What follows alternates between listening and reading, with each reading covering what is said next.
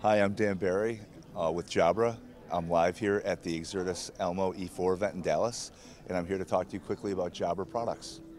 So over here we have our Evolve series line of headsets. Um, we have a couple different products out here just to highlight the single ear and dual ear capabilities. We call it mono and stereo.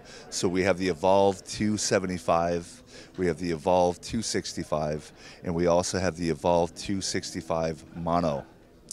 In front here we have the Evolve 2 earbuds. This is a newer product launched several months ago, really taking on some major momentum in the market. Um, we use newer uh, technology in terms of algorithms to kind of capture your voice so it focuses more on your voice, so that's, that's a neat feature that people love, plus the comfort and convenience of wearing a bud versus a headset. We also have a new Speak line of product, our, our uh, Speaker Puck series. It's the Speak 275. That's going to be showcased here in a little bit, but we do have several other versions of Speak product here. You see a 750. And then on the other side of the table, we have another franchise of headsets called the Engage line. The Engage line is a very cool product that we use um, with like a, it's both hybrid and for those folks in the office.